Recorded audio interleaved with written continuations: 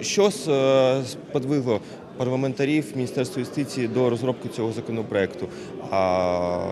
Складна ситуація з е, захистом права власності, захистом корпоративних прав в Україні. Ми бачили тисячі випадків, коли е, громадян відбирали нерухомість, коли е, незаконно захоплювали підприємства. І е, ми зараз вийшли з такою ініціативою Міністерства юстиції депутати е, щодо протидії рейдерству.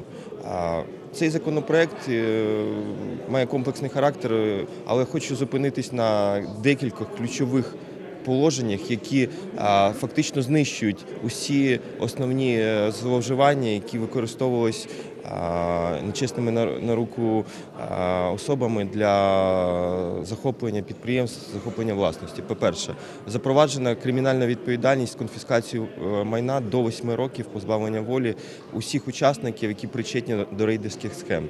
Друге, запроваджено нотаріальне посвідчення підписів на правочинах. Ми бачили ситуацію, коли фактично приносили якісь незрозумілі документи, якісь незрозумілі підписи без нотаріального посвідчення, і на підставі цих фіктивних документів змінювалися е, змінювались ва- зва- власники підприємств, змінювались е, власники майна. Третє.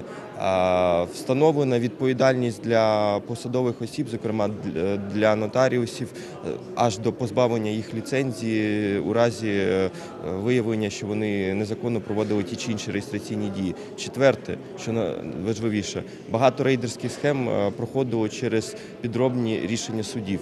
Тепер запроваджена норма, що Якщо реєстраційна дія проводиться на підставі рішення суду, таке рішення суду має бути в відповідній електронній системі, єдиній системі судових рішень.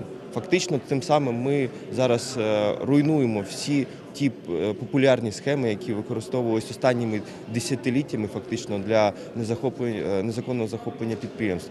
Такий крок це фактично сигнал для наших підприємців, для наших громадян, для інвесторів про те, що нарешті можна сказати, що їхнє майно, їхні корпоративні права, їхня власність в Україні захищена.